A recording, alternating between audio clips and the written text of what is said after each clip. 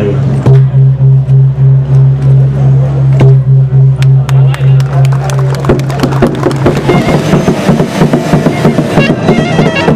วันนี้วันอาทิตย์ที่ 11 มีนาคม พุทธศักราช 2555 เราได้เยี่ยมชม งานสืบสารตำนานไทยลือครั้งที่ 12 ซึ่งได้จัดขึ้นที่อำเภอเชียงคำจังหวัดพะเยาณที่บริเวณเฮือนลือวัดพระธาตุสุแวนภาคกลางวันตั้งแต่ตั้ง9นาฬิกา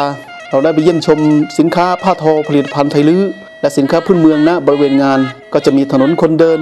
กาดมั่วครัวแรง เราได้ชมการแข่งขัน ตีกลองปูจา ชมการคนขนมปาดของชาวไทยลื้อและการทำข้าวแคบอีกด้วย เราได้ชมพิธีสืบชะตาหลวงณที่พระวิหารวัดพระธาตุจุบแบนและที่สำคัญในตอนเย็นวันนี้เวลา 16นาฬิกาเราได้ชมขบวนแห่ทางประเพณีวัฒนธรรม และวิถีชีวิตไทยลื้อจาก 7 จังหวัด ทั้งจังหวัดเชียงใหม่ เชียงรายลำปางลำพูน แพร่น่าน และจังหวัดพะเยา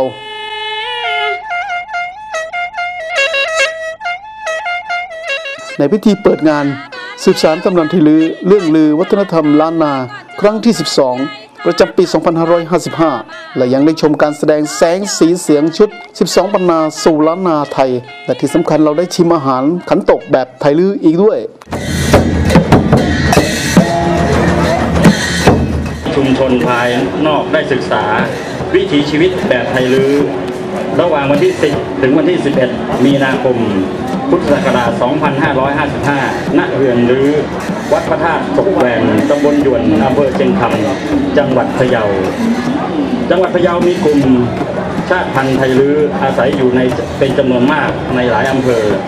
โดยเฉพาะอย่างยิ่งในเขตอำเภอเชียงคำอำเภอบูซางอำเภอจุน และอำเภอเชียงม่วน ชุมชนไทยลื้อเหล่านี้มีถิ่นฐานเดิมอยู่ที่ 12 ปันนา ได้อพยพมาสร้างบ้านเมืองในดินแดนล้านนาหลายครั้งหลายครา นับตั้งแต่สมัยพระเจ้ากาวิระปกครองเมืองเชียงใหม่เป็นต้นมา ลักษณะเด่นเฉพาะของชุมชนไทยลื้อมีสองประเภทประเภทแรก การตั้งชื่อหมู่บ้านของตนเองตามบ้านเดิมของตนเอง เช่น กลุ่มที่มาจากเมืองยวนมาตั้งบ้านยวน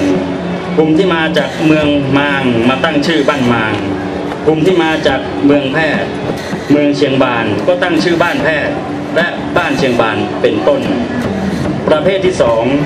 การสืบสารอนุรักษ์วิถีชีวิตแบบไทยลือ จึงปรากฏในศิลปะการทอผ้า การแต่งกายที่อยู่อาศัย การละเล่นพื้นบ้าน ภาษา และความเชื่อ วิถีชีวิตแบบไทยลือได้รับผลกระทบจากวัฒนธรรมภายนอกชุมชนทำให้ภาพของวัฒนธรรมไทยลือบางส่วนเริ่มผ้ามัว เยาวชนรุ่นหลังคลายความผูกพันกับวัฒนธรรมเดิมของบรรพชน การจัดกิจกรรมวันสืบสารตำนานไทยลือเรื่องลือวัฒนธรรมล้านนาครั้งนี้ มีวัตถุประสงค์สำคัญ 5 ประการคือ 1. เพื่อสร้างความผูกพันระหว่างเยาวชนรุ่นหลัง กับบรรพชนไทยลือ โดยใช้กิจกรรมทางวัฒนธรรมเป็นสื่อกลาง 2. เพื่อฟื้นฟูสืบสารและอนุรักษ์รูปแบบของวัฒนธรรมไทยลือ โดยสร้างกิจกรรมสาธิต ที่เป็นรูปแบบเพื่อให้เกิดกระบวนการเรียนรู้และนันทนาการ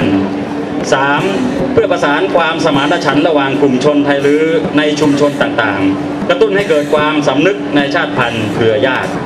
4. เพื่อสร้างความเข้มแข็งกับชุมชนไทยลือให้ร่วมกันจัดกิจกรรม วิถีชีวิตเป็นศูนย์กลางเรียนรู้ทางวัฒนธรรม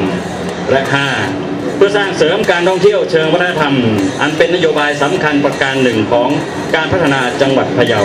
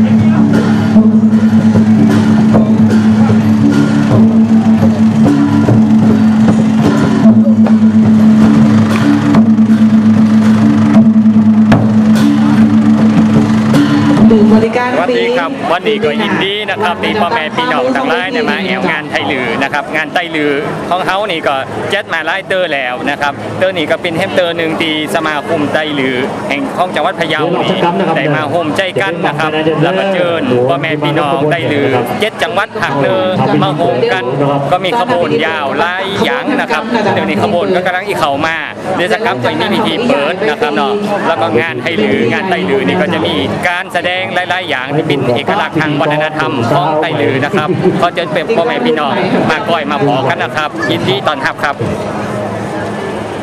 ครับสำหรับวันนี้ก็ต้องขอขอบคุณนะครับเอาพ่อแม่พี่น้องจากเจ็ดจังหวัดภาคเนอที่ปิ้นไตหรือมาโฮมงาน แล้วก็หมูนักท่องเที่ยวที่มาแอวมาก้อยยังอำเภอเชียงคำของเฮานะครับเจ้าไตหรืออ่าสมาคมไตหรือจังหวัดพะเยาก็ต้องขอขอบคุณทุกท่านนะครับ ขอบคุณครับ